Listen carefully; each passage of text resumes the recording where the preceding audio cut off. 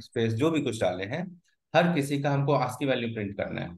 Character print करना है ASCII value print करना है। कैरेक्टर प्रिंट करना आस्की वैल्यू प्रिंट करना है। कैरेक्टर प्रिंट करना आस्की वैल्यू प्रिंट करना है। अगर हमको ये करना हो तो कैसे करेंगे? आस्की वैल्यू पे हम क्यों ज़ोर दे रहे हैं? क्योंकि यहाँ पे सी में जब आप स्ट्रिंग हैंडलिंग के काम कीजिएगा तो आस्की वैल्यू का काम जो है बार बार पड़ेगा तो आपको आस्की वैल्यू कैसे पता करना है और कैसे उसको कंपेयर करना है, कैसे उसको चेक करना है, ये आपको पता होना चाहिए। ठीक है?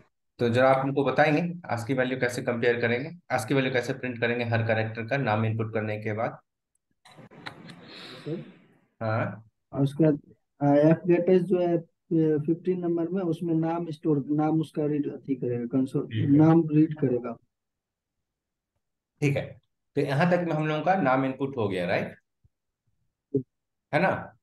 लाइन नंबर सिक्सटीन में तक में नाम इनपुट हो गया और हम लोग जो है अंतिम में से स्लैश एन हटा दिए। यही किए हैं। यहाँ तक Yes, यही sir. है। चलिए आगे देखते हैं। आगे हमको क्या करना है? हर कैरेक्टर का आस्की वैल्यू प्रिंट करना है। तो high while len while name of len len में है ज़ीरो ठीक है। While name of len not equal to none ठीक है। और name of len equal to to lower to lower नहीं करना अब हमको। अब हमको जो है प्रिंट करना है आस्की वैल्यू प्रिंट है। पहले करेक्टर प्रिंट कर देते हैं उसके बाद आस्की वैल्यू ठीक है?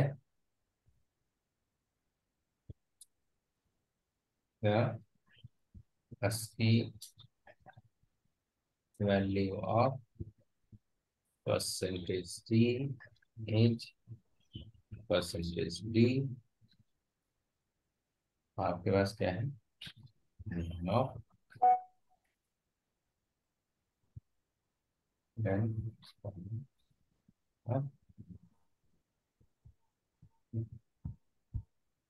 प्लस प्लस और इसको इसको मिटा दीजिए। दो क्यों दिए सर हाँ? दो। दो क्योंकि परसेंटेज सी से करेक्टर प्रिंट होगा परसेंटेज डी से आस्की वैल्यू प्रिंट होगा। बात समझे?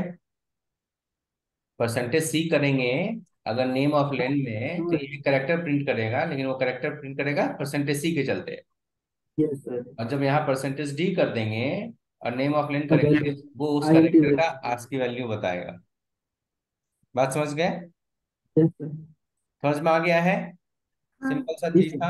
आप लोगों को बताया हुआ था लेकिन आप लोगों को ध्यान में नहीं है। दैट्स ओके चलिए तो अभी हम लोग इस प्रोग्राम को रन करते हैं। ये क्या है हम लोगों का? ASCII value dot CPP control S इसको अगर हम लोग फिर से रन करें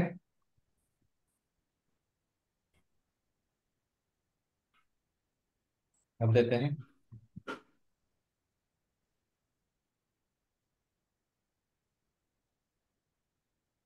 ठीक ठीक है? तो देखिए अब सबका आस्की वैल्यू आ गया। तो आज की वैल्यू का बहुत ज़रूरत पड़ेगा तो इसलिए आपको पता होना चाहिए कि आज की वैल्यू कैसे निकालते हैं। तो आज की वैल्यू अब सी का ये एच का ये आई का ये पी का ये और ये। और ब्लैंक स्पेस का क्या होता है देखिए तो खाली जगह का? जीपी में जीपी में आई के बाद ब्लैंक है ना उसके बाद ना टेक्नोलॉजी का टी है। ब्लैंक स्पेस का आस्की वैल्यू कितना है?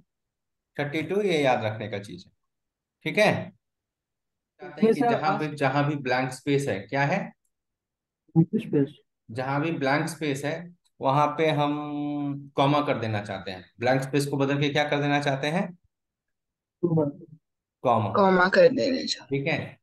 तो हमको जरा बताएँगे कि अगर हमको ब्लैंक स्पेस को कॉमा कर देना होगा तो हमको क्या करना पड़ेगा?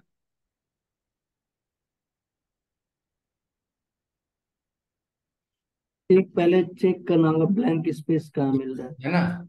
इफ़ नेम देखिएगा दो तीन तरह से भी कर सकते हैं नेम ऑफ़ क्या है? लेन है ना? Equal to equal to thirty two क्या लिख दिए? नेम ऑफ़ लेन में क्या है? Hello. Yes sir name of len में क्या लिखे हैं? थर्टी टू थर्टी टू का मतलब क्या हो गया? Blank space right blank space तो हम बोलेंगे नेम ऑफ़ लेन में आप डाल दो। क्या डालना है हमको? कॉमा। कॉमा। तो उसको कॉमा सिंगल कैरेक्टर में डालेंगे। किसमें डालेंगे? कैरेक्टर कभी भी रिप्रेजेंट होगा वो सिंगल कैरेक्टर में और स्ट्रिंग डबल कोट में।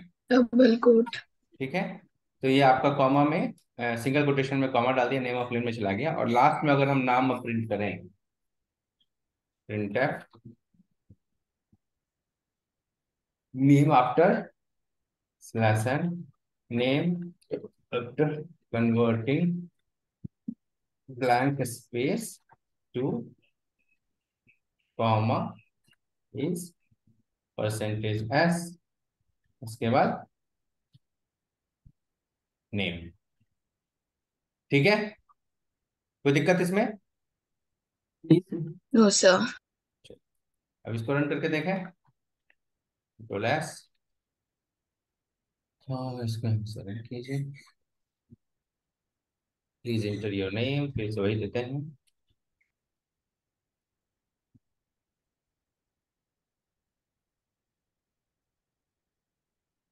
ठीक है? तो जो भी ब्लैंक ये तो आपका आज की वैल्यू जैसे था वैसे प्रिंट होगा। उसमें तो कोई चेंज नहीं किया ना इसमें इसमें तो कोई चेंज नहीं किए थे ना प्रिंट करने वाले में? तो देखिए आज की वैल्यू सबका प्रिंट हुआ है राइट जी सर और लास्ट में हम लिखे हैं the name after converting blank space to comma is देखिए तो यहाँ पे स्पेस की जगह पे कॉमा आ गया है।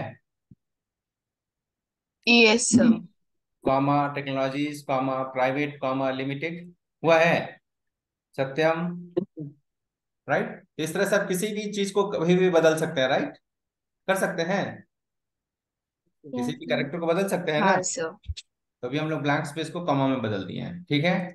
चलिए तो ये तो एक तरीका हुआ कि हम लोग अगर हमको कंपेयर करना था कि कॉमा है कि ब्लैंक स्पेस को कॉमा में बदलिए तो एक तरीका ये हुआ राइट दूसरा तरीका हम क्या कर सकते हैं इसको हम कॉपी कर लेते हैं कंट्रोल सी इसको हम कमेंट कर रहे हैं। आज की वैल्यू तो सभी जगह एक ही है ना सर हाँ हाँ हाँ आज की वैल्यू सभी जगह है ठीक है वो लैंग्वेज टू लैंग्वेज चेंज नहीं होगा। ठीक है?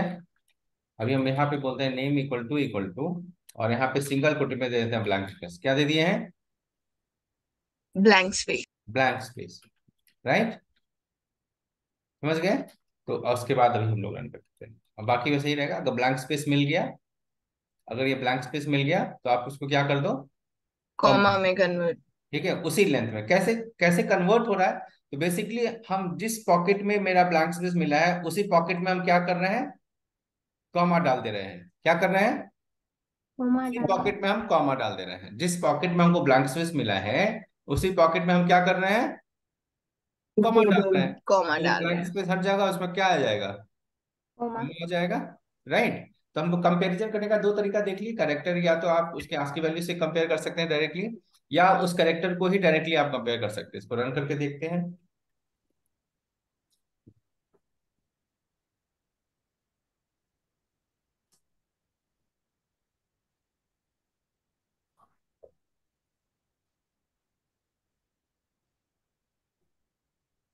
ठीक है? तो वो तो जैसा प्रिंट हो रहा था आज की वैल्यू तो उसमें तो कोई चेंज नहीं किए हैं। तो ऐसे ही प्रिंट कर रहा है सबका आज की वैल्यू आज की वैल्यू ऑफ़ दिस आज हर एक करेक्टर का राइट और उसके बाद नीचे में आ गया the name after converting blank space to comma is देखिए तो फिर से कन्वर्ट कन्वर्ट हो गया है?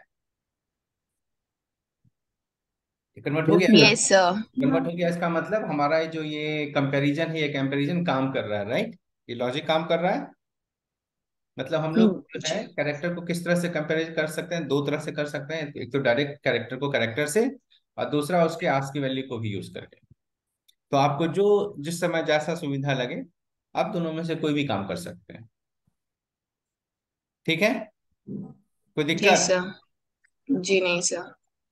सत्यम? नहीं सर। ठीक है इसको लिखिए जल्दी से आप लोग।